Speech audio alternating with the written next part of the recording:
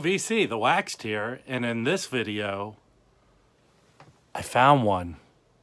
Something that all vinyl collectors look for and hope to find every time they go out looking for records. I found it. I really did. I found it. I found the Led Zeppelin 2 Robert Ludwig hot press. I found one. I'm lucky, aren't I? But how did I find one? How did I find this? And how do you know it really is the one and I'm not lying? Well, I'm telling the truth. Here it is. In a sealed bag. It's not all pretty.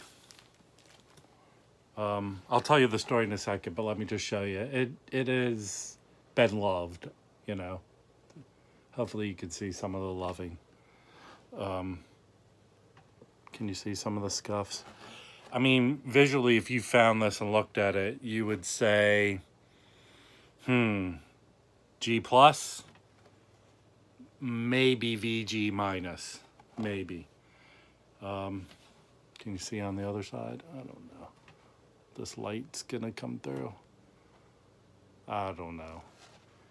But I'm telling you, if you're gonna find one, I don't know, there are five or six different ones, maybe seven, but this is the one to find. Why is it the one to find? Well, it was pressed at Monarch. RL is on, I don't even know, camera work is not great. If you can see it, RL's on both sides, Robert Ludwig. AT is here.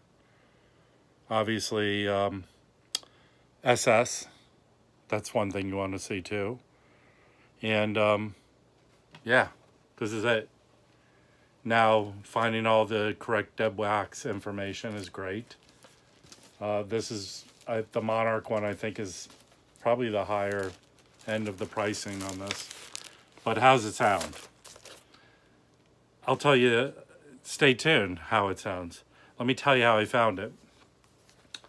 I've been, uh, you know, I always search for vinyl, and if you watch my videos, I might thrift here and there, or luckily find something at an estate sale or something. So I went to a sale. The sale advertised with pictures of albums, and you go, wow, that album and that album. And then you show up, you drive 45 minutes to it, and you see the albums, and they're all crap. They're all well loved. They're all scraped up and scratched and crappy. And then they have price stickers on them like they are stop pressing vinyl. $10, $15, $20 on vinyl that I don't even know if it would go in a dollar bin. Granted, it was good shit. But um, I found this actually, here's what I found first. I go, I found a Led Zeppelin 2. Could it be? And pull out the record. It's not the record. It's not the correct record. It was some classical record stuck in here. I go, well, that's happened before. Then I find jazz records and other cool records and blah. Not good. Um, then in the corner, I find this. And I go, it can't happen. It can't happen with all this shit here. Pull it out, and I go through the checklist. Ding, RL. RL on both sides. Monarch. All, uh, just all the things I've learned over the last two years. And it was it. And it had a $15 price sticker on it. And I said, you're coming home with me. And I bought it. All right, now, now cut to taking it home. I put it in the ultrasonic, cleaned it, gave it a good cleaning, let it dry, and then I put the sucker on. And then a VG minus G plus album turned something magically into a almost VG plus album. Oh my gosh. The sound the just full force of it kind of subdued any noise, which you hardly heard. The deep richness of this album. It's crazy. Um, you know, I like to think that I'm fairly articulate, but I don't know if I can truly convey, even if I did a needle drop now, which I don't want this video to be taken down. So all I can say is crazy. This is crazy. If you can make noise go away, you're magical. You have been touched by the vinyl gods. Dink. Ah, so you know, I'm I'm not blasé when people do videos and they said they found this and they described the experience of listening to it and it's otherworldly, it's out of body. But I can honestly tell you, it it's true.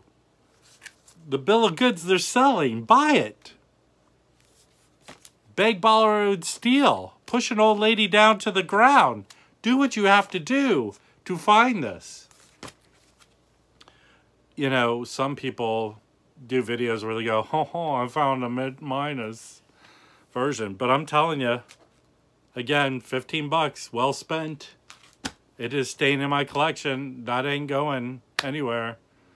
Um, but I just would like to do a video to just tell you. I mean, you know, I have a horseshoe up my butt when it comes to this stuff, but um, this is a this is an album you should seek out. Um, I could just picture now all the crappy uh, turntables in the 1970s skipping around trying to play this thing. But, uh, you know, thank God technology advances and modern times allows us to truly give this album its due. And it makes me wonder why they don't, you know, uh, master albums more like this, you know. I do have those uh, you know direct metal masters that are that sound hot. I, I kind of like it. I might be different than most people, but uh, I'm just yammering on. This is something good. If you have one, let me know in the comments below your thoughts, if they match mine. Um, if you've had experience listening to one of these, let me know. Your experience of finding one of these, which my story is as good as the album is. So, um, also, if you're not subscribed, please subscribe. Give me a thumbs up, notification, all that, all that business. And let me know. I like to hear from you guys. So if you like this video, uh, I know I'm lucky. I'll pat myself on the back. And until next time, the waxed out.